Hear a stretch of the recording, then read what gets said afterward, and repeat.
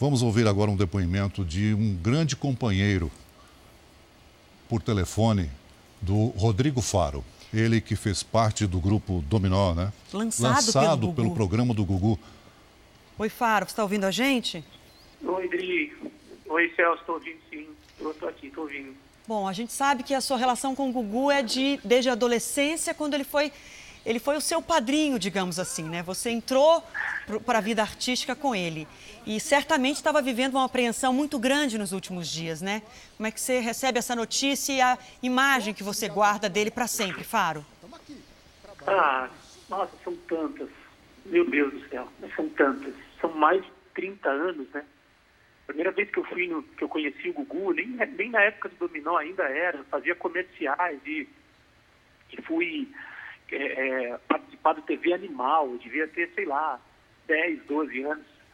E depois entrei no Dominó com 17, ele me deu a grande chance. É, e depois né, acompanhei todo o sucesso e a carreira dele, participando de todos os programas, Viva a Noite, Sabadão Sertanejo, Domingo Legal, é, Passo Repassa, até. É, e depois Deus quis que eu viesse substituí-lo no domingo da Record. Então, é, o Gugu faz parte da minha vida, né? Não dá para falar da minha vida profissional sem falar de Augusto Liberato.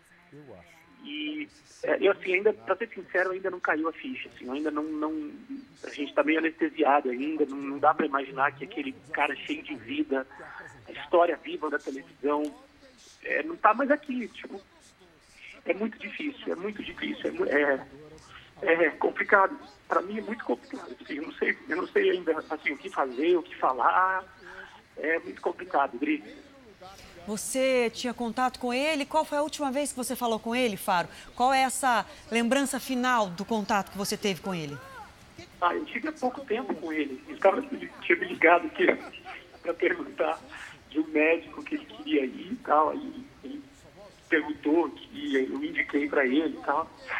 Mas, assim, o momento que marcou muito, muito, muito foi quando ele foi na minha casa em Orlando e ele é, falou, fez um post, quando, quando eu fui entrar no domingo, ele fez um post dizendo que ninguém melhor para substituí-lo, né, falando de mim e tal, o que sempre demonstrou a generosidade, o amor, o carinho, né, a grandiosidade do Gugu, né, um cara simples, generoso, amigo de todos. E ele fez um post dizendo, né, e eu tive a honra de poder agradecer, olhando nos olhos dele e dizer, Gugu, obrigado por aquilo que você fez, eu precisava daquilo. Eu precisava daquela força naquele momento que eu estava te substituindo, num momento complicado para a Record, e você foi generoso mais uma vez e foi um grande ser humano. Então, eu tive a oportunidade de olhar nos olhos dele e agradecer, falar, Gugu, cara, obrigado por aquilo que você fez. Só um cara como você faria aquilo. É, mas são muitas, né, São muitas, são muitas, são muitos, são muitos momentos. Faro, enquanto você fala conosco por telefone, nessa despedida triste para todos os brasileiros, porque o Gugu era de fato um dos maiores apresentadores da história da TV brasileira, com quase 40 anos de televisão, muito amado pelo público. Enquanto você conversa com a gente, a gente está relembrando aqui, revendo muitas imagens do Gugu, sempre sorridente, né? Porque o sorriso dele era cativante, ele era carismático, na frente das câmeras ele esbanjava alegria e energia. A gente que teve a honra e o privilégio de conviver com ele nos bastidores, você especialmente, que já convivia há tantos anos, a gente sabe que nos bastidores ele era mais tímido, mais reservado, mas que tinha um afeto gigantesco, né? Que ele esbanjava pelo olhar, né? Com qualquer pessoa que trabalhava com ele, um velho amigo como você, ou pessoas que passaram a conviver mais recentemente, aqui na Record, ele tinha sempre um afeto, né? Muito grande.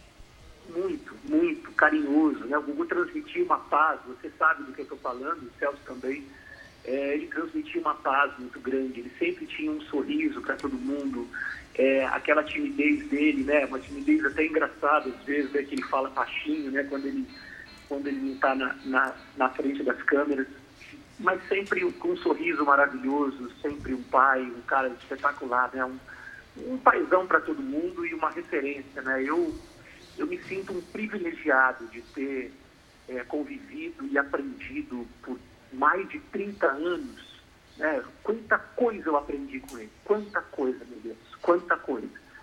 Você e... falando do paizão e a gente está justamente, Faro, vendo as imagens do Gugu cercado pelos três filhos. Pois é. E a família era a pois é. grande é. paixão da vida dele. Né? Ele era um apaixonado pela televisão, mas quem conversava com ele um pouquinho uhum. sabia que a família era a coisa mais importante né, da vida dele. Muito apegado à mãe, a Dona Maria do Céu, que viajou para Orlando assim que soube da gravidade do caso. Ele estava. Toda a família foi para Orlando e a gente sabe o quanto ele era apegado à família, né? E eu, eu encontrava ele, quando não estava com ele na Record, a gente estava nos espetáculos de teatro, de dança, do, das nossas filhas.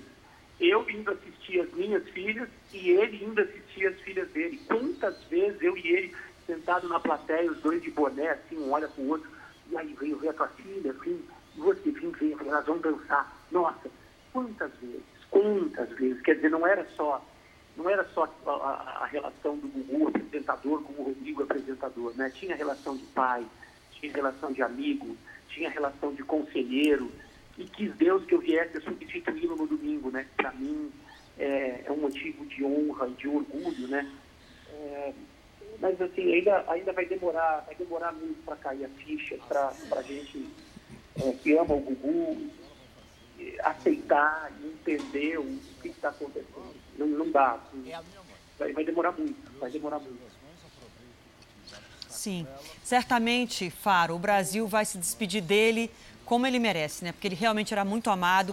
Eu agradeço você ter nos atendido por telefone, falando ao vivo com o Jornal da Record, nesse momento que eu sei que é de grande comoção para você, tamanha amizade que você tinha e terá sempre pela família dele, né? Muito obrigada, viu, Faro? Obrigado, Rodrigo. Obrigado, Celso. Um beijo para todo mundo. E o que a gente pode fazer agora, o Brasil inteiro, é orar muito pelo Gugu, orar muito para que Deus receba é, é, o Gugu nos braços e, e, e, assim, a gente tem que fazer uma festa enorme para esse cara. A gente tem que receber é, esse grande apresentador aqui com, com, as maiores honras de um cara que faz parte da história da televisão brasileira. Obrigado, Rodrigo Faro, pelo seu depoimento.